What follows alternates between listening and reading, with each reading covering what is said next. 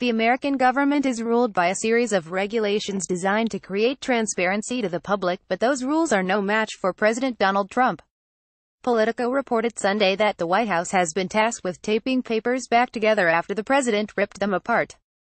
Document preservation laws mandate that the White House keep schedules, memos, speeches, public digital communications and more. Since the transition, the National Archives staff have frequently reminded the White House to follow the Presidential Records Act, but Trump's staff has been haphazard in document preservation. That's where Solomon Lartey comes in. The records management analyst has spent hours tediously attempting to piece together pages ripped apart by the commander-in-chief.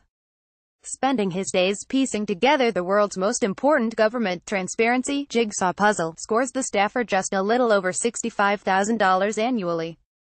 Sometimes his job is easy. Papers torn in half or quarters make for a simple day in the office. Others, however, would be torn into pieces so small they looked like confetti. While the Republican leader campaigned on the importance of transparency, his administration and cabinet appointees have taken a different approach. For President himself, old habits die hard.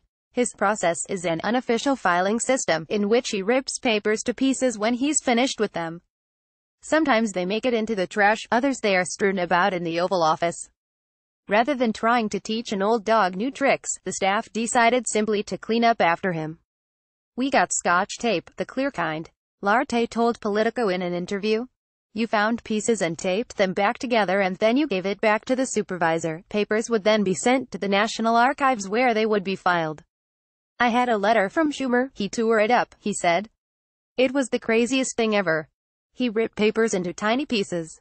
He noted that the entire department was needed to accomplish the task of taping the documents when Trump first came into office. After two decades in government service, Reginald Young Jr., a former senior records management analyst, explained he's never experienced the demand in his career. We had to endure this under the Trump administration. Young said, I'm looking at my director and saying, are you guys serious? We are making more than $60,000 a year. We need to be doing far more important things than this. It felt like the lowest form of work you can take on without having to empty the trash cans. Hundreds of years from now, the Trump presidency's documents will stand with other presidents. His will be wrinkled, torn, ripped or pieced back together and held with tape.